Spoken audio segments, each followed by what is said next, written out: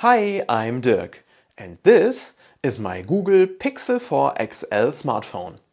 It's some three years old now and the battery becomes weaker and weaker. That's not unusual after that time, but currently I have to remember somewhere during the day to recharge so that in the afternoon the cell phone still has enough power. This becomes a bit annoying and therefore I'll now replace the battery with a new one. And you can watch me. I ordered spare parts and tools for the replacement from iFixit.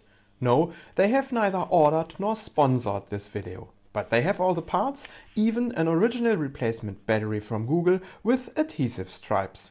There is only one additional thing I need, isopropanol from the pharmacy. We'll see. This is the device. As all modern smartphones, it is held together with lots of adhesive. I have to cut through it to open the device. Best way to do this is to heat it up. I use iFixit's heat-retaining iOpener. Internet reviews on this item are mixed, but I want to give it a try. Our microwave oven is broken, so the air fryer does not produce french fries today, but heats up the iOpener. With 90 degrees Celsius, I'm on the safe side heat-wise and 6 to 8 minutes heated up sufficiently. Let's start opening. I put the iOpener onto the back of the device and press it on for several minutes. Then I use the suction cup and pull, but not too much. I use the pick to open a gap between back and frame of the case. The first attempt fails, the adhesive is still too strong. Some more heating, all in all we're now at 10 minutes, and finally I manage to shift the pick into the phone case. I push it to both ends of the shorter edge and cut through the adhesive. A second pick prevents the adhesive from reconnecting. I use further picks for the other edges. Fortunately, a set consists always of six of them.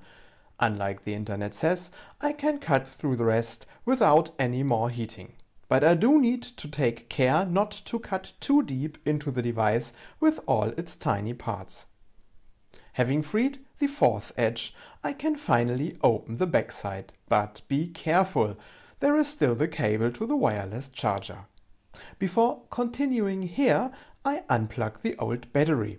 Its connection is behind a clip which is fixed with four screws, which are all different. I park them on a magnetic plate which is really helpful to keep things in order during the operation. Finally, I can remove the clip and unplug the battery. I do always apply force from the side of the plug and not from the middle. It could jam and break. Now the same operation on the backside connection. Unscrew the clamp, this time the screws are equal and lever the jack. In principle, the phone is now open, but the fun is only about to begin. So far, I have cut through the adhesive, but it is still on the parts. It's time for the isopropanol. I put it generously on the adhesive, let it sink in and rub on it with the spudger. This is quite tedious and I get an insight. Boah, ist das ein Ätzzeug. I work along the edges of the backside. The alcohol affects the surface, so I continue without it, which makes it even more unnerving. And it's only half of the job. The stuff is also on the frame, which is made of metal, so alcohol can be used in heavy doses. This finally leads to a more or less complete removal of this gunk. Now the new battery enters the stage. An internet instruction suggested to test the new battery before starting the assembly. I plug it in and start the phone. And it works. Great, so I can continue. I unplug the new battery and start removing the old one. Easier said than done. The battery is fixed with not less than three adhesive stripes.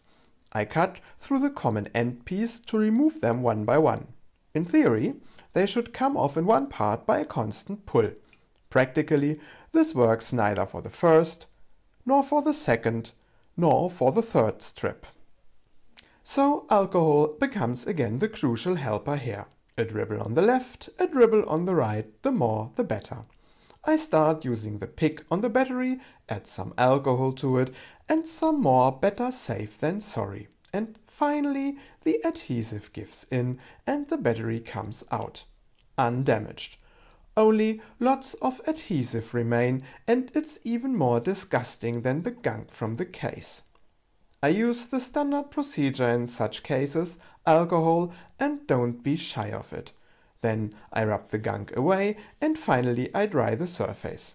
There is enough stuff to practice extensively. Finally, the battery place is freed from the adhesive leftovers at least to a large extent. So, disassembly is done. Now everything has to come together again in reverse order. First step, new adhesive. Three new stripes for the battery. They are packaged in not less than three layers of plastic protective film. I remove the first of them and test the placement. The adhesive should not cover the connection below the battery. Then I remove the second protective film and connect the stripes to the battery. I connect the battery preliminary for a second time to be sure that it is placed correctly. Then I remove the final adhesive protection and press the battery into its place. My stripes are a bit more to the top than the original, but that's no problem. So the new battery is in. I disconnect it again and continue with the backplate of the phone case. The battery exchange package contains a complete new adhesive stripe for it, also covered in several protection layers. I have exactly one attempt to place this stuff correctly, so this requires thoughtful operation.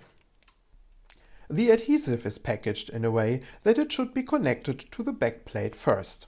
I remove the first protection film, but only in the upper part. This allows me to position the whole piece as exactly as possible in the lower part without everything gluing together immediately. Once it fits, I finally start connecting it at the top and then slowly and steadily to the bottom.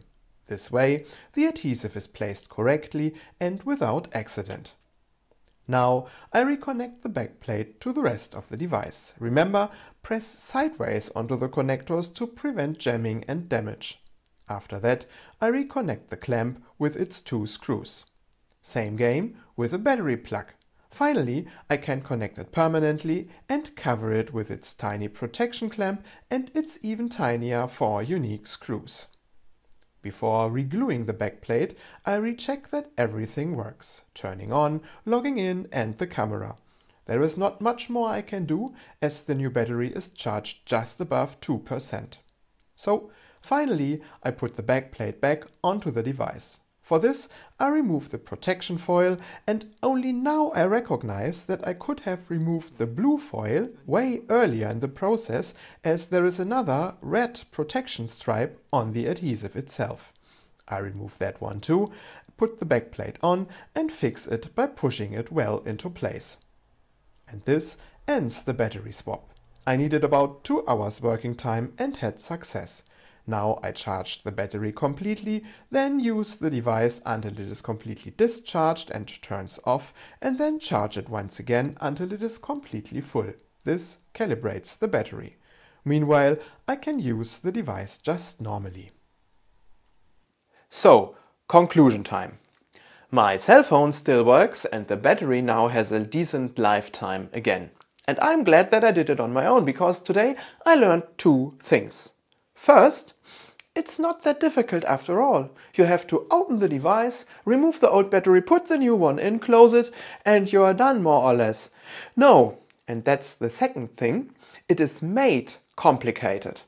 And I do not mean all those small parts, these small screws and clamps, etc. I mean, these devices are small, so are their parts. If you have the right tools and some patience, this is totally manageable. No, what I talk about is this glue stuff. I mean, remember what I had to do just to open the device. I had to heat it up, but not too much. I had to suck on it, but not too hard. I had to cut through the glue, but not too deep. And then I had these parts and they were over and over full with this glue stuff and I had to put lots of isopropanol onto it to get rid of at least most of it. And what was left over this here resembles to me something from an advertisement from an anti-pimple medication and honestly this is not how things should work. I mean, no one can tell me that there is no space in these devices to just put some other screws in which hold the backplate so that you do not need any glue for this at all. And the same for the battery. Why not using a clamp just with the connectors that we saw and you do not need any glue there either. The only thing that this whole glue stuff does is preventing people from repairing their devices. And I mean, okay, then you might be able to sell more new ones. But on the other hand, I don't want to know how many cell phones which are totally perfect and which only need a replacement battery, how many of those are scraped and put into landfill. And that's simply idiotic. After all, I liked what I had with iFixit therefore. They had the instructions in the internet, they have the tools, they have the replacement parts. I can order this, as is delivered in a timely manner. This is something one can work with. And therefore, I'd like to end this video with a call. Don't be afraid. Use these resources in the internet.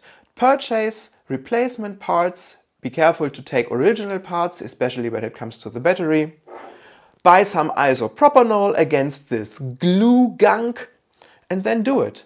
After that, you will have your phone in a new condition, you will have new battery life, you will have saved lots of money, and after all, you can put such a nice sticker on it. And that's a value of its own, isn't it? So, and with this, my video ends, and I say see you next time, and thanks for watching.